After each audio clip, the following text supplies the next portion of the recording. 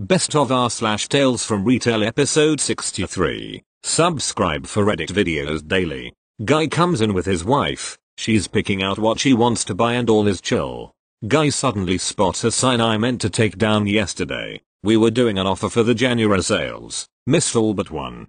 Damn. It was a 2-4 deal. I explained to the guy that it was my mistake and I proceed to take the sign down and apologize for the misunderstanding. The guy physically puts his hand on the sign to block me. I take it off anyway. Wife picks out what she wants and proceeds to pay. The guy begins mumbling under his breath complaining that they didn't get the deal. She gives him a sharp elbow in the ribs to shut up. They would have saved about one pound. 40 on a 11 pound purchase. The wife seemed perfectly content to pay the normal price. Apparently at this point I should have given her the offer for goodwill, which I agree, but this guy was being weird about it so I just tried to get the transaction done with. They pay and leave. I don't think much of it and continue my day serving lots of customers. The guy then come back half an hour later alone, asking if I'm the owner, making the accusation that I need more customer service training, threatening to leave me a bad review on Facebook. I tell him he's more than welcome to leave a review. He's not impressed at all by this. Guy is acting extremely condescending so I tell him again, he's free to leave a bad review. I have no intention in doing anything for him as he wasn't even the one purchasing. He assures me he will make the review. I tell him that's cool. It's my first complaint. Says I'll get more complaints speaking to customers like that. Right single quotation mark. And that's it. I got my first bad review today. Could have gone better. Could have been worse I guess. Thank you. Next. English not my first language. Long time lurker. Translated from Dutch to English. Yada yada. Now let's out of the way, let's set the scene. This is a small story from back when I worked at a chocolate shop. Back when I just started stewing I worked part-time at a chocolate shop in the oldest part of town. Now the location of the chocolate shop was rather special. The building was over 200 years old. Before the current owner bought it and refurbished it into a chocolate shop some of the older customers told me that for almost 100 year the shop housed an Fisher's family and fish seller. This was until the 1960s. The mother that took over the business after her husband died, and that the children did not want to get into the fishy business. They decided to sell the shop. In the first months I started working there some strange things happened. They were always tiny things like chocolate boxes I swear were there a minute ago would moved. But one of the most noticeable things was that it seemed like there was someone in the store while I was all alone. What would happen is that I would be working in the storage room, or with my back turned to the counter. From the corner of my eye I would notice a woman in a blue dress standing in front of the cash register. As always I would turn around to greet them with a hearty how can I help you? But as soon as I turned around the store was completely empty. No one was there besides me. After a while I just blamed it on the lightning and the feeling of the store. A couple months later I was having a drink with some female colleges after the store closed. We were talking about strangest things that happened during colleague. I swear I have a mouse infestation at home. Either that or my house is haunted. Me. Talking about haunted. I might be getting crazy. But every freaking time I work at this place I swear to god I see a customer out of the corner of my eye. But when I turn around there is no one there they both start laughing. When I look at them questioningly she answers, college, seems you have met one of the residents. At this point I'll look at her confused me, what are you talking about? I toughed this building was owned by boss lady, care to explain colleague? Well yes it is, you know how this used to be a fishing store right? I nod colleague. You're not the only one that has that problem. We toughed we were crazy. But a year ago I had a rather interesting experience with an customer colleague. She came into the store looking rather distressed. When I asked her if I could help her she said, Customer, I don't really know how to tell you this, but the ghost of the old owner is in this shop. I have to tell you she is really happy it got turned into a chocolate shop. She loves it how exciting people get about the chocolate in her old store colleague. I am sorry, what are you talking about? Customer, you know, the woman in with the blue dress, the fisher's wife. Colleague. After that the woman hurried out of the store, and I never saw her again. I don't know if she spoke the truth, but that blue shimmer you sometimes see out of your eye, I like to believe that's the old owner who still watches over the store. I don't know if that customer was just pulling her leg, but I do toughed it was a rather cute story. Every new employee I trained after that I told that story. Thank you. Next. Just to start out, I know what I did was not smart, but I was livid there is an older man. He will be MH. He's known in my area for being an infamous thief, including from my store, which is why he's on no trespass. I saw MH outside at the gas pumps, waiting for his friend to be done in the store. I gave MH a pass because he was just waiting, until I look again and he isn't there. I have a screen where I can see what's going on at the diesel pumps around back, and I see him on the back patio.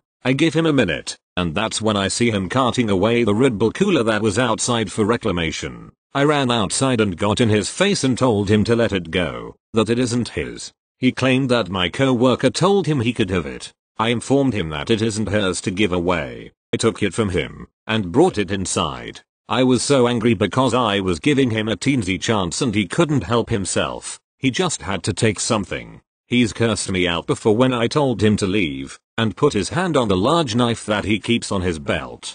Just, what a night. Thank you. Next. Worked retail for video games in a toy shop over the Christmas holidays. There were Karens here and there but overall I had a fantastic time there and would probably do it again. But I'll never forget this one time like two days before Christmas. The hottest item in the shop is the Nintendo Switch. We had so many in the back that I just assumed we'd never run out, until we did. Or at least there was one left.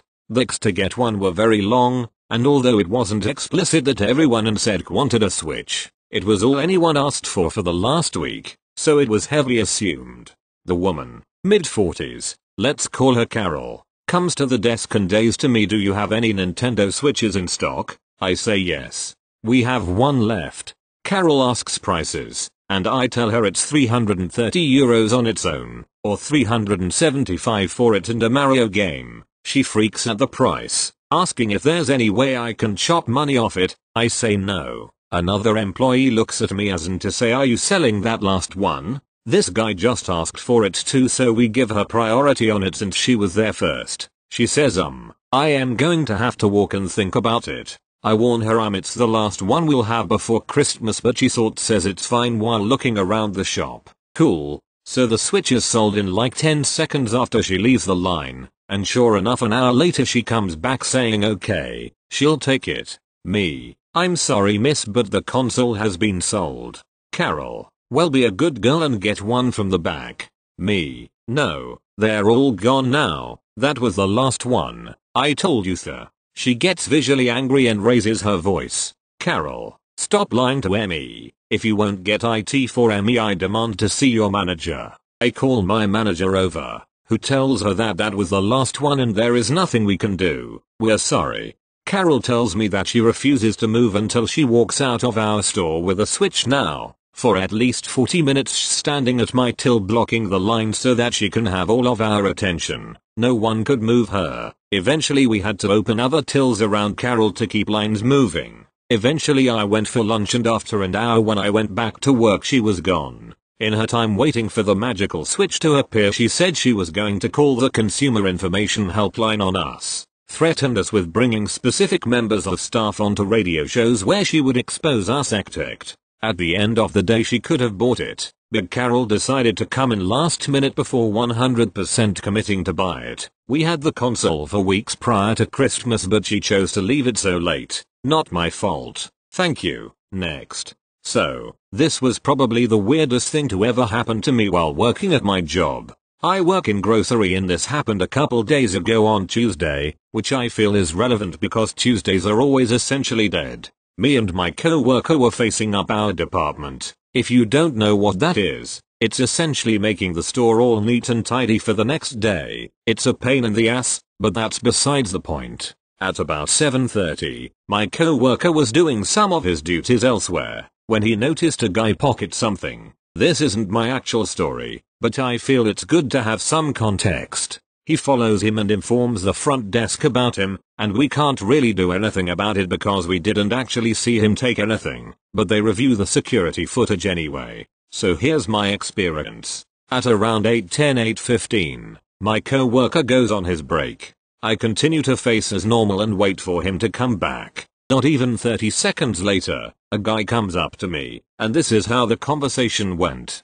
Hi, I'm sorry to bother you, but I need to show you something disgusting. Um, okay. We start to walk. So, when I started walking over to this section, I saw a guy drinking shampoo, threw up and was trying to steal something. Huh, okay, well did he steal anything? No, when he saw me standing here, he booked it out of the store. So, there I was standing there, with brown vomit covering half the aisle in front of the Tylenol pills. I thank the customer and go inform the worker in charge, Wick, in front end of it and if he could review the tapes. The first thing he asks me is, was he wearing a grey shirt?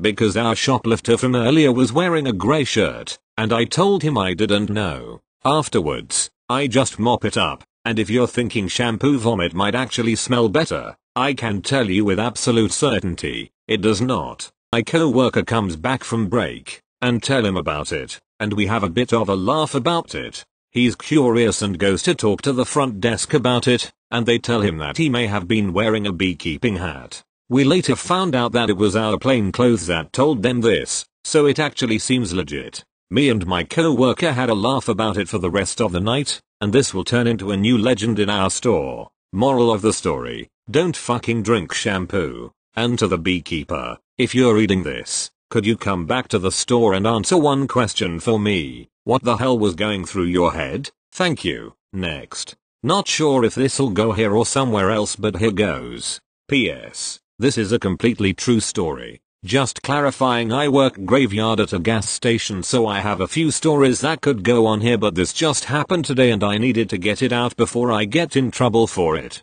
A couple teens come into my store, hoodies up and blowing into their hands. The wind is pretty rough and it's cold out so it makes sense. I take care of a few customers and forget about them. Then one bolts out the door with two 18 packs of Coors. I tell me co-worker to follow him as his friend trails behind with a 24 pack of PBR. I grab the door handles and hold the door shut. Me, you need to pay for that. Him, trying to push past me, prying my fingers off the handle. Me, you're not going anywhere. I grip the handle tighter and swing an arm around him. Him, not going anywhere am I? The door falls open and I scream for my assistant manager as I fall on this kid. The box of beer break open and the kid bolts crying. I'll be honest, I did threaten to beat his ass if he or his friends came back, but gathered the crushed box and rolling beer cans and went back inside. AM, what the hell happened? Co-worker, brand new, first day on graveyard, she just gave me a reason not to piss her off. Thank you, next. Okay, so the disclaimers on mobile and not good at formatting, etc. I work at a small locally owned hardware store. We have several people in our fairly small community that we see enter the store and are immediately on alert about. One of them is an 80 plus year old small Asian Mormon lady. She stalks my young guys, the ones in mid 20s, around the store every time she comes in, trying to get them more pamphlets and get them to go to her service etc. She has been politely told no by both of them, and she doesn't try it on the older people, or any of the cashiers, like me, F23, but it's often enough that they both make themselves totally scarce when she comes in. So, on this day, me is me, Ab is my absolutely awesome boss, TC is tired cashier, and B is the poor hair-raced guy she's following. Oh right, and L, our Asian lady, she comes in to buy a few things, and I point her in the right direction. The first thing she does is ask about my guy co-workers. Is the other one there? Is B here? And knowing why she asks, I was super vague back there somewhere I think. When she returns with her items, I start ringing her out, not being super chatty because uh, I don't want a pamphlet and B, she was looking for something in her purse. It just seems courteous not to talk to someone who is clearly doing something. I get to the point where the receipt is almost ready to print, where I'd say thanks for coming in, have a nice day, don't get too wet out in the rain when she looks up at me and starts to scold me in her I know better tone. Apparently Al used to work in retail for 50 years she resaid this about 10 times, the same way people use um. Anytime she didn't know what to say, and I was being very unfriendly and had not said any of her five customer service lines. Remember, Transaction not even done. I look up and TC is working hard helping someone get the right tool they need, holding up the other register, and the line behind her is forming. About three people now. She continues to tell me how it's my job to make customers want to come back and maybe she won't come back and it's extra important to be extra extra nice to foreign people, because apparently they need it. My personal policy is I'll be the same nice to everyone, unless they are a holes. Five people in line now. She's just standing there, lecturing me, about how unfriendly I am. Never seen a former retail worker so willing slash and caring of the line they're creating. Finally, Finally she leaves, then comes back in the door before I finish even one customer. I needed to talk to B and off into the store she goes. Once I clear the line, the handset next to me is paged from the back. It's Ab, telling me she was telling him of how unfriendly I was and he knows that's utter nonsense because I'm the nicest cashier they have, and asked me to kill her with kindness, since she got something else. Sure enough, here she is, and I was sugar sweet to her. So much so that she went back to Ab and told him I was so nice this time and please don't tell her I said that etc. At this point, every time she stops the boss, she talks for at least 15 minutes. So she's been in the store more than an hour with all this, and we've all heard how long she worked in retail, how old she is, and how she's Asian. Many times. We jokes about it after. Ab telling me what she was saying and how no one feels like they're allowed to end the conversation with her.